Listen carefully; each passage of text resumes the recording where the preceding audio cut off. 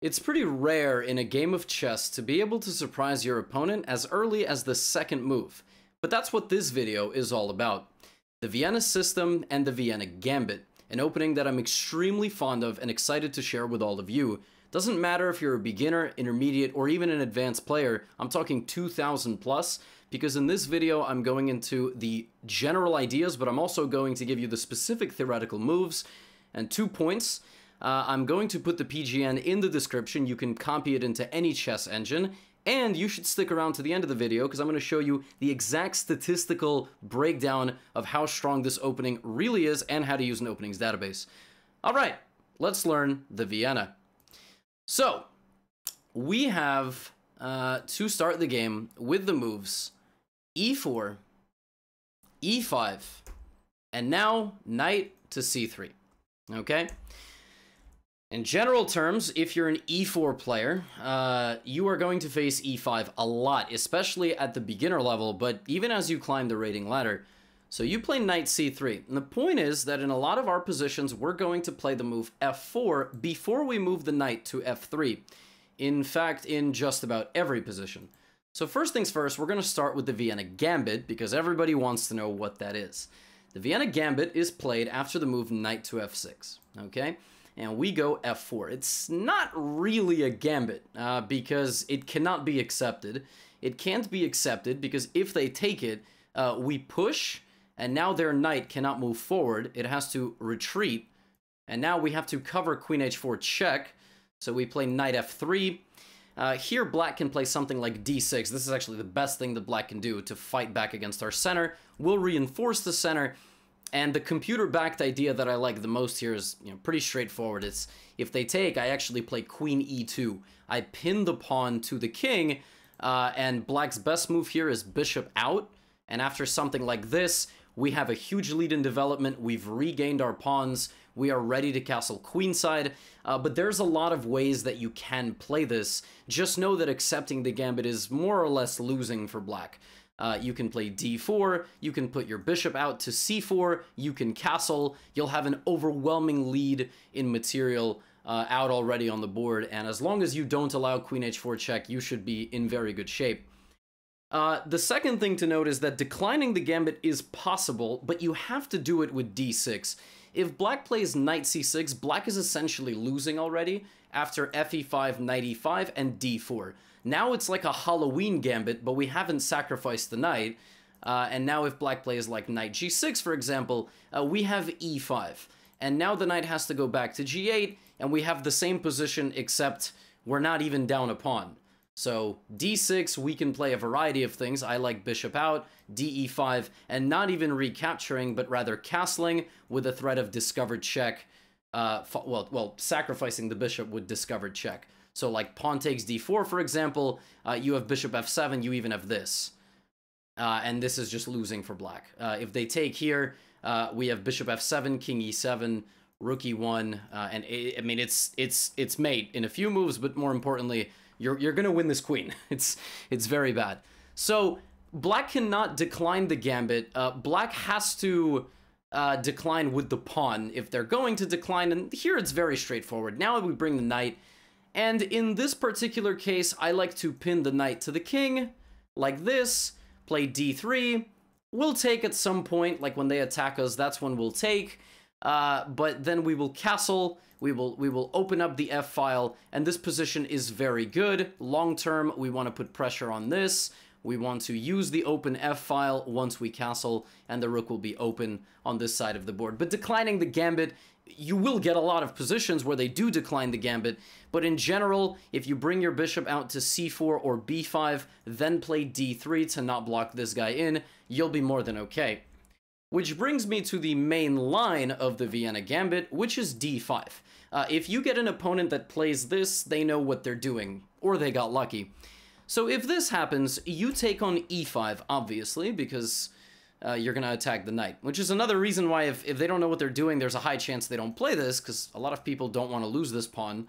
Now they play knight takes e4, and here, if you look in the database, there are two moves which are main, and my move, which is in my openings course on e4, uh, the move queen to f3. This is the third most popular move, but I like it the most because it's the most direct.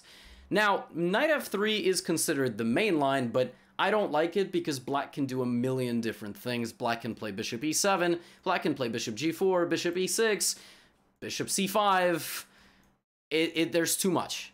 And d3 is a very trappy system. So if they're going to play knight c3, bc3, uh, this can kind of transpose to what we want, but here black has a good move d4. Uh, you can play d3, and then you can play like knight f3, d4, bishop out, castle, and so on. But really what you're going for here is the queen h4 trap. It looks like you've made a horrible blunder. I mean, you have if you blunder checkmate, but you have to play g3. They will take, and now you play knight out, hitting their queen. You can't take this because they would take your rook. So most people here will drop back thinking that they're maintaining this pin and they can't take because their queen was under attack. But now you ignore this entirely and you play knight to b5. And knight b5 threatens this. Uh, oh, sorry, sorry, not, not knight to b5. Absolute brain fart. Please erase that from your memory. But that's why I, I filmed this in one take. Knight takes d5. You would take the pawn. Take the pawn and threaten knight c7. Um, I don't I don't even have any idea why I suggested the move knight b5. Please excuse me. You would take the pawn in the center. You would threaten this fork. Now, they can take your rook and hang the rook themselves. Uh, if they do that, then, well, the position is very chaotic. Some people might not like that. They might play like knight a6, for example, which would defend the pawn and continue this. But that's a huge mistake because now you have knight to f4 and you attack their queen. Their queen now has a lot of difficulty staying on this side. If they play queen h6, you have a very nasty move, knight back to e2 with discovered attack on the queen and the knight is under attack. so again, this is very trappy. Uh, th this is not like something that you you can expect to happen every single time. And again, it's not my main recommendation because a good player will just take the knight, continue their development. Which leads me to the main line. And that is queen to f3. We gotta go through the forest. I wanted to show you all the stuff that probably will happen. Uh, because honestly, at the lower levels, you don't get the main line a lot. People will mess up earlier in the game. So, Queen to f3 attacks the knight. Now, black has three moves here. The one you're going to face the most is here.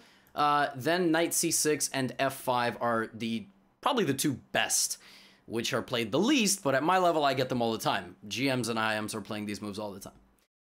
So if knight takes c3, you I recommend you take with the b pawn because I want you to rebuild the center with a move like d4.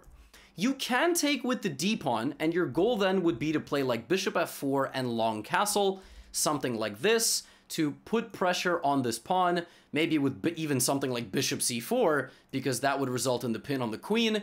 Uh, this knight can develop with knight h3 and even knight g5 if there's a bishop here, uh, or you can bring it out this way, sometimes to f4, but in this case there's a bishop there. So I like bc3, and after bc3, a lot of games will go like this. They will, black will play bishop e7, black can do a lot of things. I mean, black can play c5, uh, if black plays c5, I don't recommend that you go d4, but if black plays bishop e7, I recommend immediately taking the full center, playing bishop to d3, and bishop e6, knight e2, something like this, and castling, and then long-term creating an attack on this side of the board if black castles. If black is very fast with the move c5, for example, then bishop d3 is still fine because this doesn't trap you. You always have the bishop here and then this is just a trade and it's completely okay for you. This is not something that you need to worry about. But if black plays c5 here, you can't play d4, because after take, take, they will hit you with this move, uh, and you, you have a bit of a problem. Um, you, you're going to have some serious difficulty defending your pawns. So if they play c5 right away, I say, all right, punish them for not moving this bishop. Queen to g3. It's my favorite move. Very tricky to remember, because now they can't develop. And some people here will freak out a little bit. They'll be like, uh, well, what about g6? Well, now you're going to develop your pieces. So you're going to play knight out to f3. Uh, this bishop has a choice. It can pin the knight once it arrives on c6 and trade itself. Uh, or if the bishop comes to f5, you can even offer a trade like this. Because again, long term, you want the open f file. You you don't care about your doubled pawns in the center because you get an open file here, you get an open file on the f file in the long run, uh, and you have a very strong pawn in the center of the board. So that's as far as if they take on c3, you have to deal with c5 or not c5 positions. Uh, the other two lines to know are knight c6, we'll start with this one, and f5. Versus knight c6 attacking this, don't take the knight, you need to pin the knight to the king to prevent it from capturing. And now what's considered the main line is black takes on c3, now you should take with the d-pawn because you need to open up your bishop and get developed quickly. Um, BC3 is again an option here, but I'm not. I'm actually not a big fan of it. So that's the hardest part here. It's remembering when you take with which pawn, and you can really break that down like a little checklist. Has my opponent played knight c3 first, or has he played knight c6, or did he play f5, and so on. So I like this. And now the main line goes check and queen e4. This is a very common maneuver uh, to trade the queens and get an equal position. Again, if they don't know the theory, you will never face this, ever. It's much more likely that you will face something like bishop e7 or bishop e6, at which point you should remember your ideas, bishop out, long castle, bringing the knight to the center, and noticing what in the position you can put pressure on, and how you can attack black's pieces depending on how they set up. So, uh, if they go for this queen trade variation for the more advanced players, there's a cool sacrificial idea, bishop e3. If they take your pawn, you can sacrifice all of the queenside pieces and castle, uh, and now you are threatening this. And if people take your bishop, then you have this, this, and not bishop g5 yet, but a gorgeous move, knight d4. The point is that you attack both of these pieces, and if they take you, you have bishop g5, and it's unstoppable checkmate on e7. So a very cool little trap there. You can play bishop to e3, and of course, if they trade queens while life goes on, you'll castle queenside and you'll move on with your with your existence. If they play f5 in the main line of the Vienna Gambit, I recommend attacking the knight, now going like this, and here is the trickiest system. If black knows the move d4, uh, well, they know what they're doing. If not, then you're going to go d4. But d4, I recommend sacrificing this pawn entirely, queen to g3. If they take, the point is bishop to e2, threatening bishop to h5. You might say, well, Levy, how's that a threat? Bishop h5 doesn't look so scary. Well, yeah, but you're going to sacrifice. That's the point. And now you're bringing in your bishop. You're bringing in the pawn. And black actually can't defend himself. So if king e7, you have this. If king here, you have e6. And it's simply losing. The king has to come forward and you'll have a discovered attack on the queen. And if this, again, bishop to g5. Devastating attack. Um, so bishop to e2, uh, and if black plays something like g6, you can go bishop f3, knight e2, and castle. Remember this little bishop e2 trick. It's going to be very useful for you. And if black plays something like, again, bishop e6, you have d4 as well as knight e2 and knight f4 just going after this guy immediately or building up a full center. It takes a little bit of time to getting used to how to play these positions exactly in the Vienna Gambit, but hopefully in about, what, what was that, like 12 minutes? Those are all the general ideas and theoretical points. Um, they can decline the gambit, or they can accept, uh, th they can play into the main line of the gambit, which is d5, but hopefully that points you in the right direction. Now, what if they don't play knight f6 on the second move? What if they play knight c6? Well, now I'm going to go for f4 with a little bit of a delay. Now, you can play f4 here. I don't recommend it. This is called the kind of deferred King's Gambit, uh, meaning that you you know you play uh, the King's Gambit on the third move instead of the second move, but it's a little too dangerous for my liking. Uh, and here you can play like like this and try to trick them back into d4. But the thing is, if black knows the move g5 here, this can be very scary. In many of these positions, you actually have to sacrifice your horse completely, like this, uh, looking for a super gambit, you know, just going for a position where you've sacrificed all the material, but you're just going for a direct assault. Uh, if you like this, you can try it, but it can't possibly be my recommendation because it's technically losing for white. But you can try it if you'd like. Uh, if they don't know g5 and instead they go here, well, congrats. Now you're in a Vienna Gambit again. So against this, I'm going to recommend to you bishop c4. And first things first, let's look at the copycat variation. So this variation is losing for black if you know the move queen g4, which is a benefit of delaying knight f3, you attack g7. A lot of beginners here will play queen to f6 because it attacks this and uh, sorry, it defends this and attacks this. But here comes the magic. Knight to d5. And this attacks f6 and c7. But lets them go here. And they'll get excited. They're gonna take this. I've even had a 1400 think this was mate. It's not. So a lot of people freak out here and go, uh-oh, how do I guard this? Um, and how do I guard this? Uh-oh. All right, well, how about g6? And you, this might look really good, but that's not the point. The point is knight to h3, and the queen is trapped literally just trapped. It can't go anywhere back. People will run their queen to the free square, and now you play d3, and you glue in the queen, and c3 is coming, and there's nothing black can do to stop this. A lot of black uh, uh, uh, uh black players here will play h5, and they will attack your queen. But you don't need to worry about that. If they attack your queen, you can just move your queen. You don't need to rush. They can't go here, right? So now you have pressure here and here. And knight c7 and all of this is still a threat. This is just lost. You can run this through the engine if you like. But if you get this on the board, it's just losing. Uh, Stockfish's best variation here is something like knight h3 followed by h5 immediately. So king f8, knight h3, h5, queen g5, queen d4, d3, and bishop to e7. I can basically guarantee you that you will never get this because I've never gotten this in a game. Uh, and now the best thing to do is queen g3 back, again maintaining this, and black has to play b5. Again, you can check this with the computer, but I can wholeheartedly assure you that you will never, ever, ever face this, okay? You will never face this. And if you do, they're cheating. And if they're not cheating, they're an anonymous grandmaster. And if they're not an anonymous grandmaster, then I don't know, okay? You're playing an alien but I've never faced this against any Grandmaster that I've ever played. People don't know how to play once they fall into this position. Um, now, there's other ways to defend the g7 pawn, like king to f8. If they play this or g6, I recommend sliding back and threatening this. I've had people blunder knight d4 mate.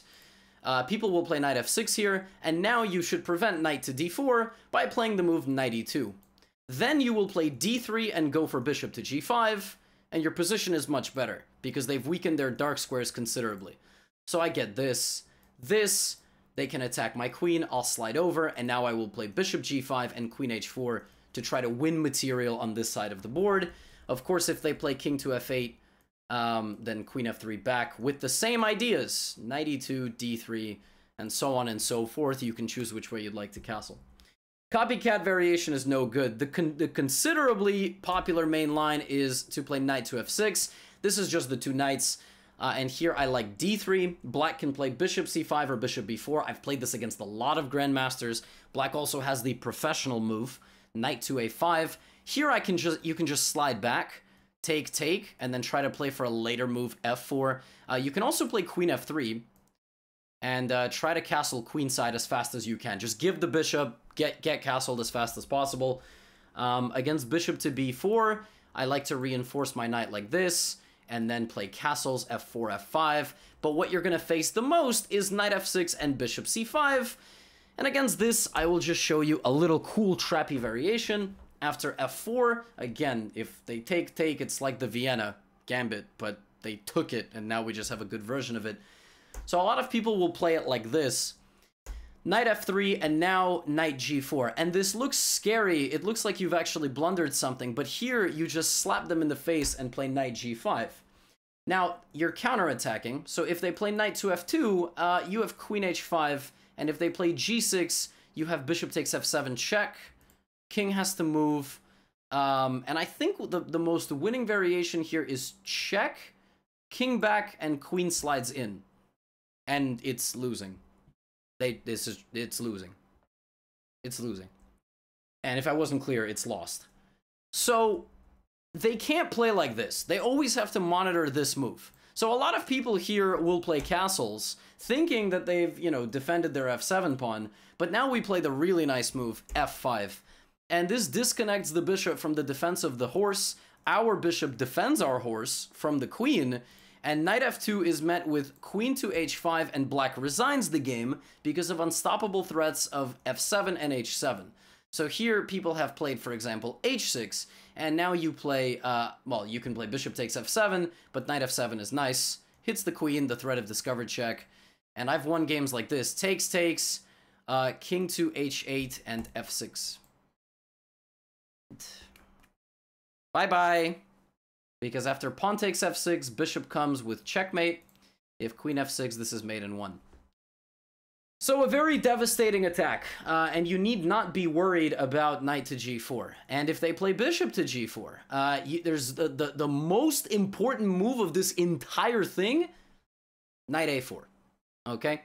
This hits the bishop, and you need to defend against the move knight to d4 with the pin. So for example, if knight d4, here there is um, capture on c5, take, and now you play c3. And what you're trying to do here is you're trying to make them take, take, and you have a very solid center, and you'll castle your king this way. So you'll play bishop, queen, and bring the king this way. You're, you you can castle this way, it's okay, but you need to not worry about the safety of your king. That's why I said this video is good for the advanced player, because if you're 2000, you know the theory here, you're going to be fine, even against master level players. So, I I think that's basically it. I mean, there's other move orders in e4, e5. You know, you might face something like an early d6. Against that, just go d3 and f4. Just do your thing. Just do your thing. d3 and f4, knight f3 after that, delay knight f3, castle, you'll be in good shape. Um, now, I promised all of you a, a statistical review of this opening, right?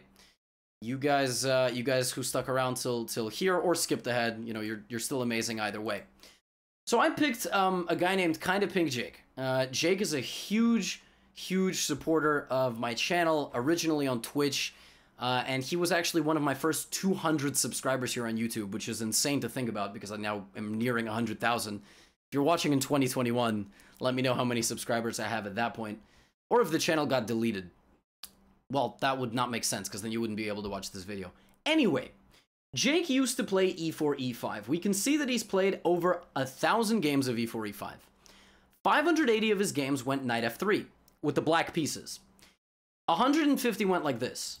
Knight c3, he only had 82 games out of 1160, which shows you how deep out of the way the Vienna is. So Jake would play both. He's played knight c6 and knight f6.